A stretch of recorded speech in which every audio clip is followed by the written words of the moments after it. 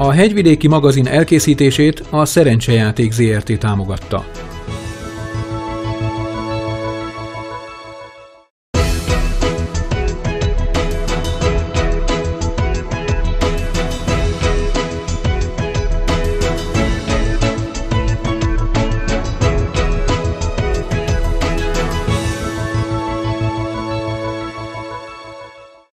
Köszöntöm Önöket, megdőlni látszik az az állítás, amely szerint a rák civilizációs betegség. A váci múmiákon végzett vizsgálatok eredményei szerint ugyanis már a 18. században is jelen lehetett a daganatos betegségek kialakulásáért felelős genetikai mutáció. Vendégünk Szikosi Ildikó, a Magyar Természettudományi Múzeum antropológusa. Köszöntöm a stúdióban, és köszönöm, hogy eljött hozzánk. Na hát először is beszéljünk arról, hogy mit kell tudni a váci múmiákról. Gondolom sokan hallottak róla, róluk, de történetüket nem biztos, hogy mindenki ismeri. Jó napot kívánok! A Váci mumiák története e, ismert, de érdekes módon külföldön többen ismerik a történetét, különösen a tudományos körökbe, úgyhogy mindig örülünk, amikor lehetőség van egy kicsit hazai e, közönség előtt is népszerűsíteni és, és bemutatni őket. 1993 és 94-ben zajlott Vácott a helyi fehérek templomának, a Dominikánus templomnak a felújítása, amikor is a felújítás során egy rég elfeledett lejáratot találtak, ami a kriptába vezetett. A kriptáról is voltak információk, de igazából e, meglepetésként érte a lakosokat is, és a Tragor Ignác Múzeum munkatársait is, akit értesítettek, és akik elsőként mentek le a kriptába. Önmagában egy elfeledett kriptának a megtalálása is érdekes, de amikor a kriptában, le, amikor a kriptában leérve az ott lévő koporsókat kinyitották, akkor egy második meglepetés is érte a kutatókat, hiszen a koporsókban nem csontokat, csontvázakat találtak, hanem teljesen épségben mumifikálódott emberi maradványokat. Minek köszönhető, hogy mumifikálódtak a holtestek, hogy megőrződtek az utókor számára? Természetes úton mumifikálódtak, tehát minden emberi beavatkozás nélkül történt, zajlott ez a folyamat pusztán a mikroklímának köszönhető, hogy ilyen jó állapotban megőrződtek, a betemetettek. A halál után a bomlás folyamata mindig elindul, beindul. Azonban, ha a környezetben vannak olyan hatások, esetleg meleg-hideg, vagy erős szellőzés, akkor ezek a hatások leállíthatják a bomlás folyamatát, és a testek szép lassan megőrződnek, konzerválódnak. Itt is az történt, a kriptában télen-nyáron állandó hőmérséklet, 10 Celsius fok körüli hőmérséklet uralkodott, és volt egy húzat, egy szélmozgás, ami mindig jelen volt, és ez segítette azt, hogy a testek szép lassan kiszáradtak, és így megőrződtek. Más egyéb apró tényezők is még támogatták ezt a folyamatot, a fenyőfa koporsóknak van egy kicsit antibakteriális hatása, ami szintén elősegítette ezt a folyamatot, és nagy mértékben elősegítette az is, hogy bolygatatlanok voltak majd 200 évig a koporsók, nem volt állandó kibe járkálás, nem látogatták itt a halottakat, és ez így összességében eredményezte, hogy megőrződtek. Hogyan sikerült megállapítani, felgöngyölíteni, feltérképezni, hogy kik voltak az elhunytak? Részben a koporsókon szerepelt az elhunytaknak a neve, esetleg a halál évszáma. Nem minden koporsó esetében tudtuk ezeket az adatokat megszerezni, leolvasni, eh, hiszen eh, gyermekek koporsóira nem fértek fel ezek az adatok apró, újszülött koporsókra, csak virágdíszítéseket helyeztek, és a szerzeteseket is jeltelen dísztelen koporsóba temették, illetve elhanyagolható, de azért volt olyan eset is, amikor nem lehetett már leolvasni ezeket az információkat a koporsókról. A többi esetben azonban a koporson szereplő nevek alapján meg tudtuk állapítani a betemetett nevét, e, és e, a halotti anyakönyvekből pedig további adatokat nyertünk az elhunyt személyét illetően, hiszen a halotti anyakönyvben megőrizték a név és a dátum alapján ki tudtuk keresni, és így megőrződtek esetlegesen a foglalkozás, a további családi kapcsolatok, kinek a férje, felesége, kinek az apja, anyja, esetleg betegségek, talán még a halálok is Úgyhogy sok olyan információhoz jutottunk, amiből egyre gazdagítani tudtuk azt az információt, azt az adathalmazt, amit akár az egyénről, akár pedig a váciakról, a 18. században élt váciakról gyűjthettünk. A kutatók számára milyen eredményeket hoztak a vizsgálatok, hiszen ugye később több vizsgálatot is elvégeztek, sőt, még napjainkban is folynak ezek a kutatások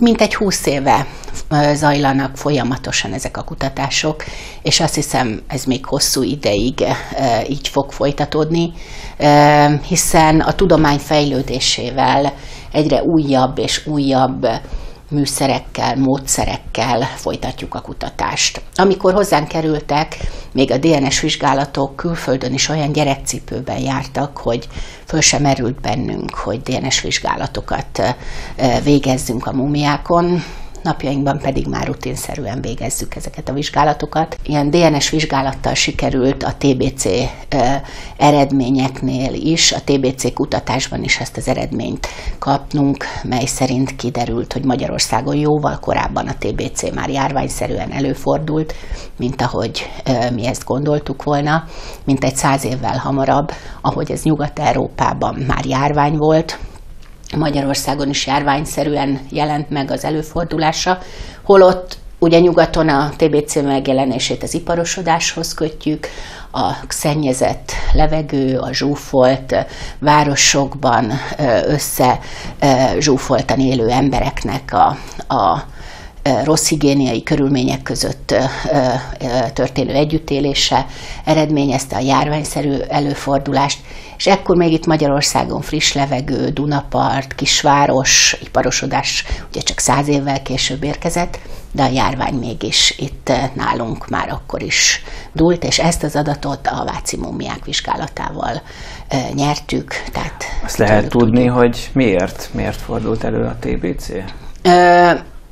Természetes úton, Nyugat-Európában már járvány volt, és természetes úton, tehát a kereskedelmi utakkal, az utazókkal, az emberek jöttek-mentek már akkor is a kontinensen, és ezzel elterjesztették, elhozták hozzánk is a járványt.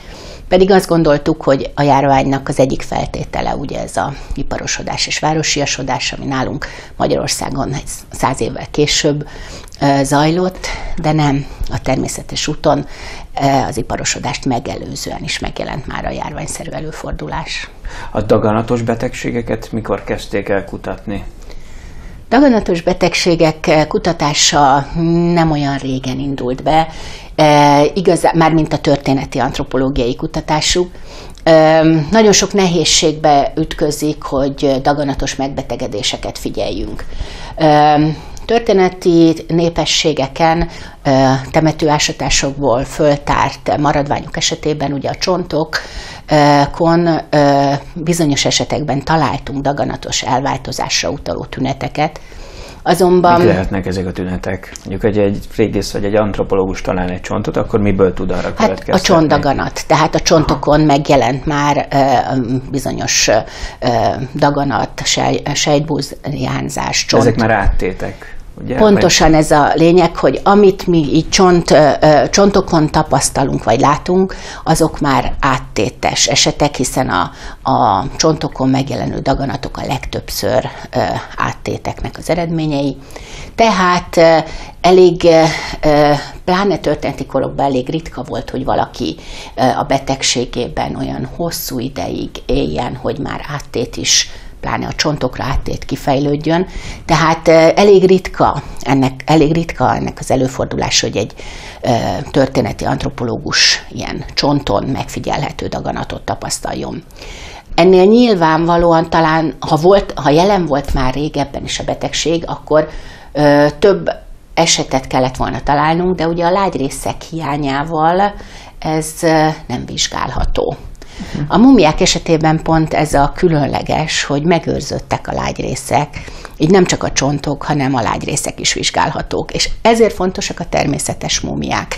Egy mesterséges, például egy balzsamozott egyiptomi mumia esetén mindenki tudja, hogy a belső szerveket eltávolítják.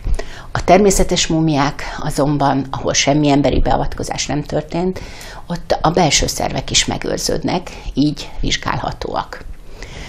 Úgyhogy a mumiák ezért is sokkal informatívabbak, gazdagabb információkkal szolgálnak számunkra az egykor élt emberek, akár betegségeiről is. Jelen esetben azonban nem is a lágy részeket vizsgáltuk, hanem már modernebb technológiát alkalmazva. A DNS-t vizsgáljuk, hiszen teljesen jól kivonhatók már a csontokból. Igaz, hogy nagyon szigorú követelményei vannak ennek, és igen drága vizsgálatok, hiszen a halál után ugye elkezd a DNS is bomlani, tehát jóval kisebb lesz az a mennyiség, ami kivonható egy-egy csontból vagy mumiából. Tehát mindenképp itt fel kell dúsítani a kivon DNS-t, hogy aztán vizsgálni tudjuk. És vigyázni kell arra, hogy ne szennyeződjön az anyag, akár a vizsgálónak, például a DNS-ével, de ha kivontuk a DNS mintát, akkor utána már vizsgálható annak az illetőnek a saját DNS állománya, és akkor már lehet esetleges mutációkat keresni, ami itt is zajlott, egy bizonyos mutációt kerestünk, ami összefüggésbe hozható a vastagbél és végbél daganatokkal. Konkrétan kimutatható, hogy ez a mutáció jelen van bizonyos vastagbél és végbél daganatok esetében, és ezt a mutációt találtuk meg az egyik vácimómiánál. Izraeli kutatókkal együtt végeztük ezt az együttműködést, ezek a vizsgálatok mind multidisciplinális és nemzetköziek is, tehát annyira szerteágazó tudományterületeket érint, hogy együtt dolgozunk orvosokkal, mikrobiológusokkal, de akár néprajzosokkal, vagy levéltárosokkal is, hogy minél többet tudjunk meg a mumiák életéről. És a külföldi kutatók is sokszor nagyon hasznosak, mert a technológiát, fejlett kutatásokhoz tudunk csatlakozni, illetve hát közös együttműködésben a anyagiak, a pénz is esetleg olcsóbban, vagy éppenséggel az együttműködés keretében ingyen elvégzik ezeket a vizsgálatokat.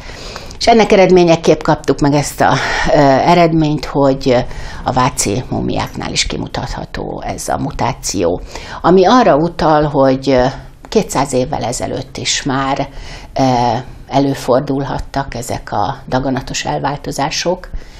Akkor még nem tudtak róluk, vagy azt gondoltuk, megint csak valószínűleg még nem, ismerhet, nem ismerték a betegséget, mm, és igazából így a későbbi korok embere is mindig azt gondolta, hogy az iparosodáshoz köthető. Megint csak a, az iparosodás káros hatásaival magyarázható, hogy megjelentek olyan karcinogén anyagok, ami előidézte ezeknek a rákos megbetegedéseknek az előfordulását, illetve a gyakoriságának a növekedését.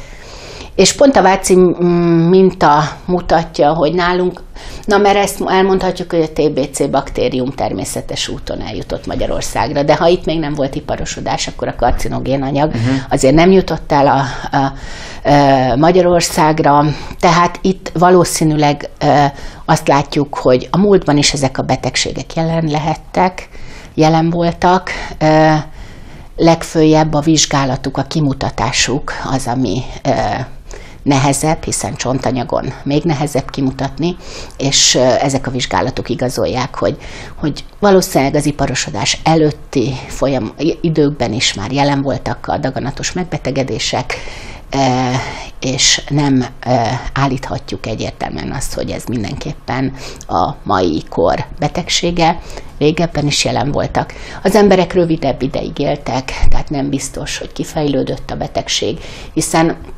napjainkban is mondhatjuk azt, hogy 75 év fölött ugrásszerűen megnő ennek a betegségnek a vagy a különböző rákos megbetegedéseknek az előfordulása.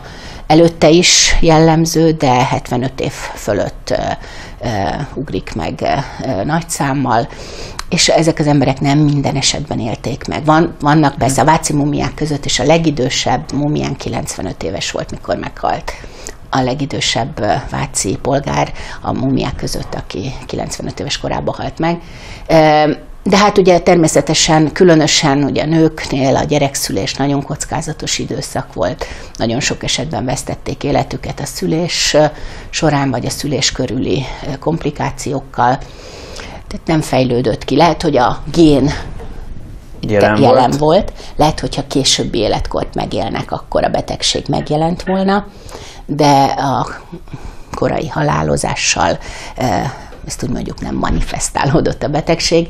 És itt ennél az esetnél is, amit találtunk, sajnos pont egy olyan váci mumiánál találtuk meg ezt a DNS mutációt, ahol nem tudjuk a nevét, ezért nincsenek plusz adataink a betemetetről. De az ő testében a daganatnak a, a előfordulását nem találtuk meg, tehát uh-huh. csak a DNS szinten lehet kimutatni. Ennek a vizsgálatnak az eredményeit hogyan tudják hasznosítani a rákgyógyításban? Tudják-e egyáltalán? Még ezek az első lépések a kutatásban, az minden esetre hasznos információ a mai orvostudománynak is, hogy, hogy, ezek a be, hogy ez a, a betegség és az egyéb daganatos elváltozások, azok már régebbi korokban is előfordultak. Konkrétan, hogy mi lesz a hasznosítása az még további kutatásokat igényel. A TBC-nél elmondhatom, hogy ott nagyon fontos információ ez, hiszen a, a 18. században élt emberek DNS-ét kivonva, itt most a bakteriális DNS-re gondolok, tehát konkrétan a TBC kórokozójának találtuk meg a baktériumát, vagy találtuk meg, bocsánat, a DNS-ét. Ez a DNS még egy olyan állomány, egy olyan örökítő annak állomány, ami még nem találkozott antibiotikummal. Uh-huh. És ugye napjaink fő problémája az antibiotikum rezisztencia. Hogy ezek a kis egyszerű élőlények, ezek a kis baktériumok képesek a DNS állományukat úgy módosítani, hogy az alkalmazott antibiotikumok ellen ö, ellenállóvá váljanak ez a napjaink fő problémája, hogy megjelentek olyan baktériumok, törzsek, amelyek már nem is csak egy hanem több, sőt, megjelentek azok a szuperbaktériumok, amelyek napjainkban az összes ismert antibiotikum ellen már rezisztensek. És ha az ő állományukat, DNS állományukat, DNS szerkezetüket összehasonlítjuk a 18. században élt baktériumokéval, akik még nem találkoztak antibiotikummal, akkor a kórokozónak a evolúciójára kapunk képet, és ez talán segíthet abban, hogy olyan antibiotikumokat, vagy olyan kezelést találjunk, ami e, ismét hatékony lehet a baktériumok ellen. Tehát akkor a vizsgálatok, a kutatás tovább folytatódik a jövőben is. Mindenképpen. Kíváncsian várjuk az eredményeket. Köszönöm, hogy eljött hozzánk. Én köszönöm szépen.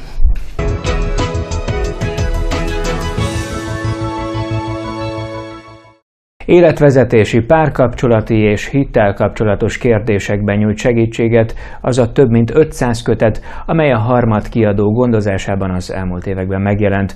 A kiadó 25 éves fennállását egy programsorozattal ünnepli, emellett a legnépszerűbb könyveiket a közeljövőben digitális formában, mobil applikáción is szeretnék elérhetővé tenni. Áprilisban ünnepli 25. születésnapját a harmad kiadó. 1990-ben egyetemista diákok azzal a céllal alapították meg a kiadót, hogy a kereszténység iránt érdeklődőket tartalmas olvasmányokkal lássák el. Emellett életvezetési és hittel kapcsolatos kérdésekben is segítséget kívántak nyújtani az olvasóknak. Diákokként úgy éreztük 25 éve, illetve hát a indulás az már 5 évvel hamarabb is volt, hogy kevés olyan irodalom van, ami a mi helyzetünkben akkor nagyon fontos volt. Nevezetesen, hogy e, intellektuálisan igényes, a tudományok iránt nyitott, de mégis e, spirituálisan elkötelezetten a bibliai értékekhez hű e, kiadványokat kerestünk, amiben ez a két szempont egyidejűleg volt jelen. És kevesen tudtunk akkoriban úgymond nyugati nyelveket, angolul, németül, és akik ennek, ezt, akiknek erre volt lehetőség, hogy ilyen könyveket olvastunk, elolvastuk, és egymásnak ezeket az élményeket elmondtuk, megosztottunk, megosztottuk ezt, nyári táborba összejöttünk, és valójában egy teljesen öntevékeny diák kezdeményezésből indult az, amiből először lett egy diákszövetség, a Magyar Evangéliumi Keresztény Diákszövetség, és utána alapítottuk meg a harmadkiadót, amihez kaptunk külföldről is segítséget, ugye a nyomdaköltségeket meg kellett előre finanszírozni, és nagyon nagy dolog volt, hogy ebbe kaphattunk segítséget. Tehát az egész történet valójában így visszatekintve arról szól, hogy, hogy egy nagyon pici kezdeményezés, egy civil kezdeményezésnek mondanánk manapság, hogy milyen lehetőség van ebbe, és milyen fontosak ezek az apró kezdeményezések is.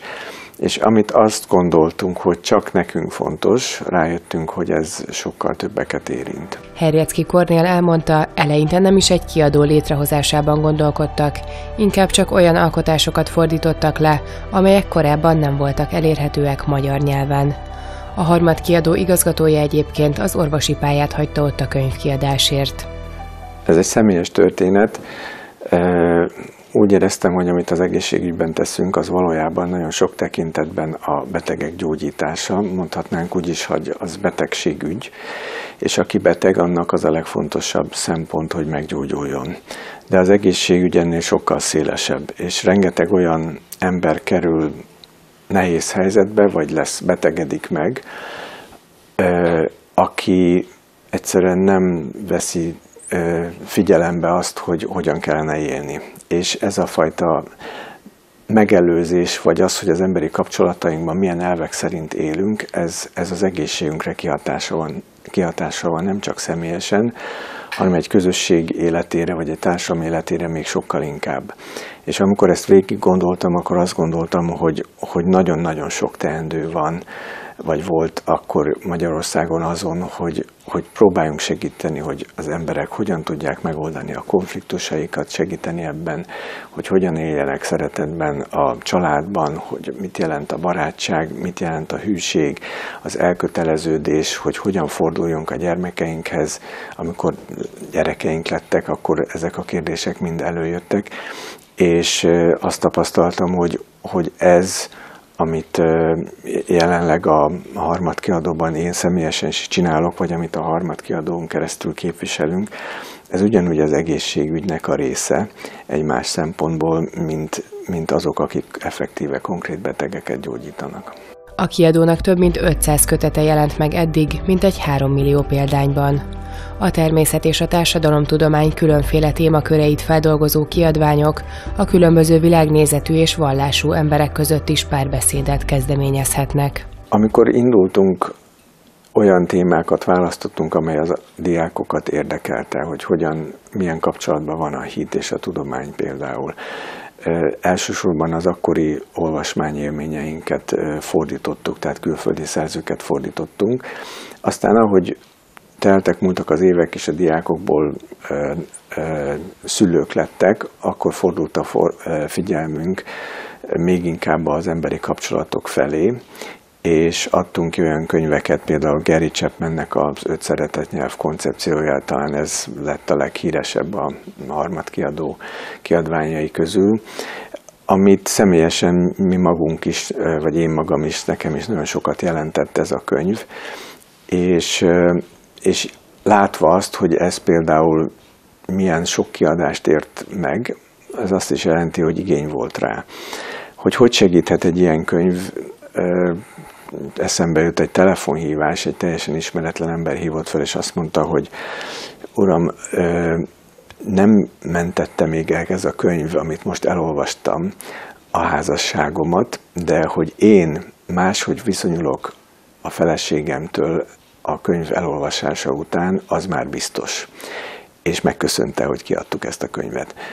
És sok ilyen történetet tudunk elmesélni, ezek egy némelyikét a honlapunkra is feltesszük, valamiféle visszajelzések blogokban a könyveinkről, hogy szó szerint egy könyv életváltoztató hatással bírhat valakinek az életére.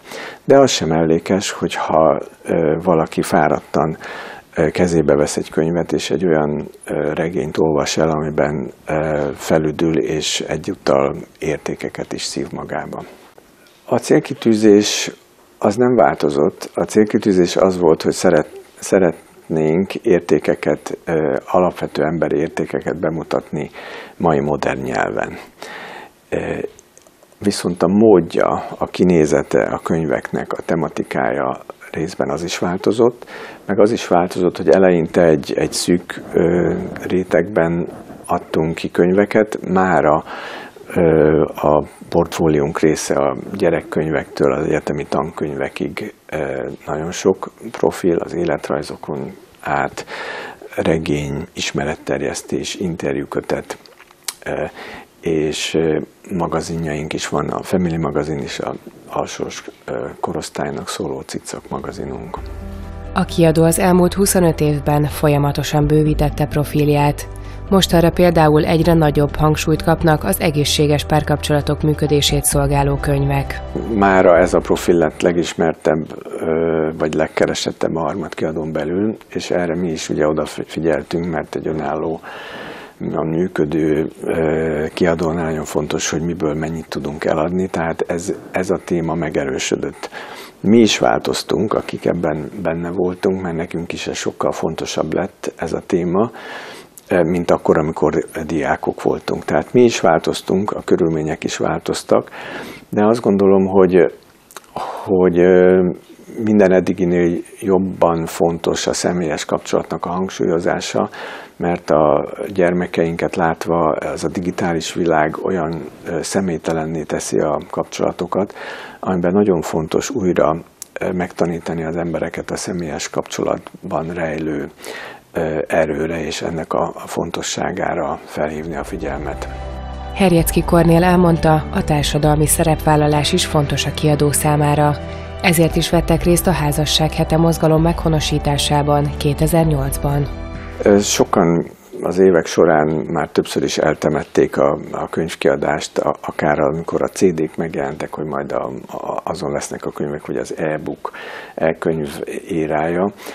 Mi azt látjuk, hála Istennek, hogy minden évben több könyvet tudunk eladni, és odafigyelünk arra azokra a témákra, amelyek érdeklik az embereket, és elsősorban a kapcsolati témájú könyveknél látunk jelentős emelkedést, ami nem biztos, hogy jó hír, mert ez mutatja azt, hogy ezen a területen nagyon sok nehézség és probléma van.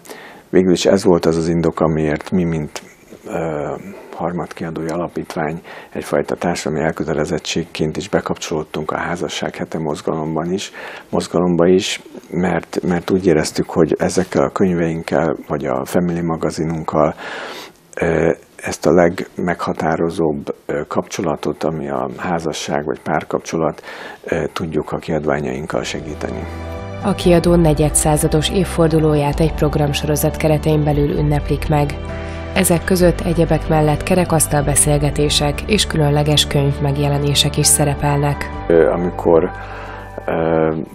valamiféle sikert érünk el, hogy a top listába berekerülnek a könyveink, az egy, az egy fontos esemény, tehát értékesítési szempontból egy fontos esemény, vagy nekünk fontos az a legnagyobb könyvünk, amit eddig megjelentettünk tavaly, egy magyarázatos biblia, amit kifejezetten olyan magyarázatokkal láttak el a szerzők, amelyek a mai ember sokszor felületes ismeretéhez illeszkedve próbálják a, ennek az ősi szövegnek az aktualitását bemutatni és, és maivá tenni.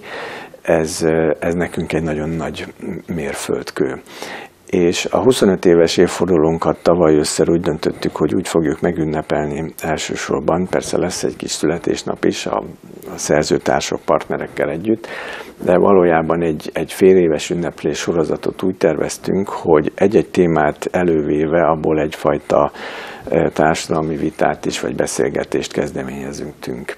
Ez szeptemberben kezdődött egy igazából egy szomorú témával az öngyilkosság megelőzésének a világnapjával, témához időzítve volt egy kerekasztal beszélgetésünk, hogy mit lehet tenni az öngyilkosság megelőzéséért, és hogy tudunk segíteni azoknak, akik úgymond hátra hagyottak lettek, végül is ők is áldozatok, mert az öngyilkosok hozzátartozóiról van szó. Aztán volt egy kerekasztal beszélgetés etikai témákban, erkölcsi dilemmák szóval volt ennek a címe.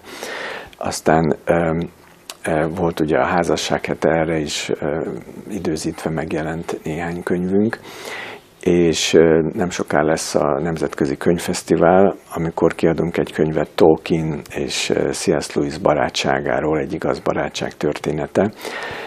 Ott is lesz egy kis esemény, szervezünk május 31-én egy gyereknapot Török Bálint ahol a Family magazinunkkal kapcsolatban jelenünk meg. Tehát az ünneplést megpróbáljuk úgy csinálni, hogy valamit mi is mutatunk magunkból, és szeretnénk megosztani ezeket a tartalmakat, értékeket most már nem csak a nyomtatott sajtó módján, hanem a témát elővéve beszélgetésekben, eseményekben.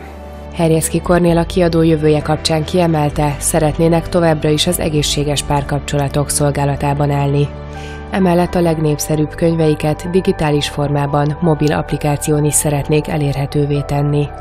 Jövőre pedig vendégül látják Budapesten a legfontosabb szerzőjüket, az öt szeretett nyelv megalkotóját, Geri chapman -t. Friss hegyvidéki magazinnal minden hétfőn este 20 órakor jelentkezünk. Köszönöm figyelmüket, viszontlátásra!